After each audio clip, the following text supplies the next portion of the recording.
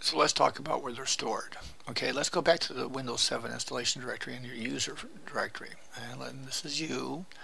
You see this app data directory. This is the directory that stores uh, a lot of your stuff and everything as far as your user goes. If you can't see that, you're going to have to go to View and turn on Hidden Files. If that's off, you'll see that app data goes away. You click on Hidden Files and it shows up. So you go in here and you go into Local and you scroll down all your old installations and everything. Uh, again, another reason why you have to have it. You'll see some things like this, 4A Games, Chromium, you'll see EA Games, Electronic, anything that looks like a game, Fallout 3, all that. You need to copy these over to your new directory, which is on your Windows 8 directory. And again, you go to whatever user you've set up on Windows 8, and you go to the App Data directory, local, and you copy all these folders over. You just, again, you drag and you say copy. Make sure you don't copy inside of a folder that you say copy to uh, local, remember to copy, uh, and drop them in over there. And it'll, give, it'll ask you for access and everything, so you have to have all that done. Uh, that's not the only place it stores. If you go back to your own user and you go to My Documents, okay, you might find some directories there.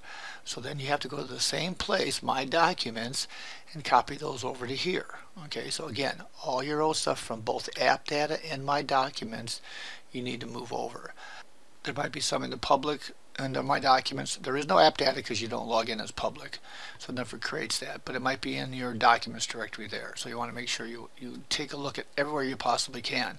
But basically, two places. One is in your old user directory under app data and my documents and copy those over to the respective places on your new installation over there.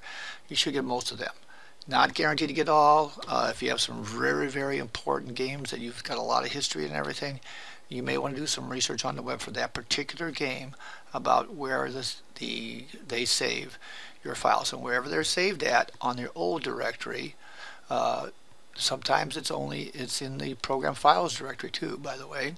Uh, it could be in here. It could be under program data directory. Looks like there's some EA Core Electronic Arts stuff there remember to come over to your new installation, okay, under program data, for example, and do the same thing. Copy these over there to make sure that you have a copy of every possible thing. Now, some of these are probably empty. If we go to Ubisoft Assassin's Creed 2, there's nothing there, okay?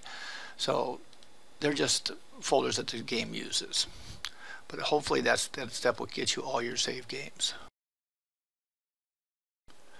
So that's about it. Uh, on moving your Steam installation A to a either unprotected directory, in other words, out of the program files to a new games directory, and in turn for Windows 8 you can install it there.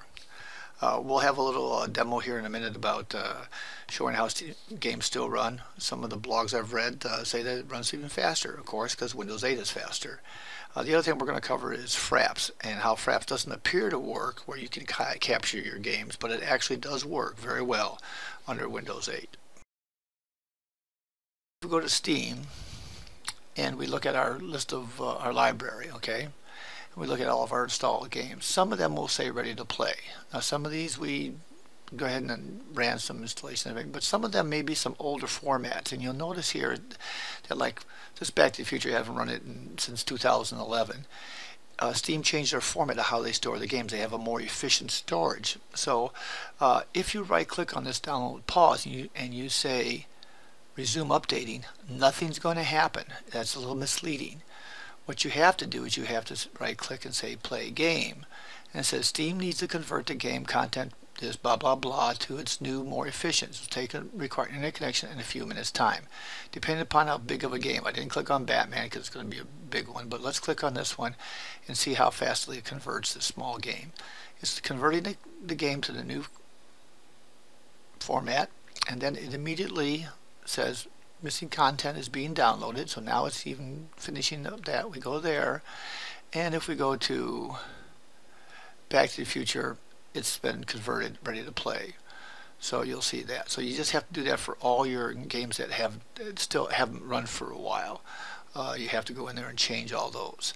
Uh, if you're not ever going to run them again, you don't have to do it right now. Uh, so you're you're good to go. But just because it says um, download pause doesn't mean that it actually is ready to go.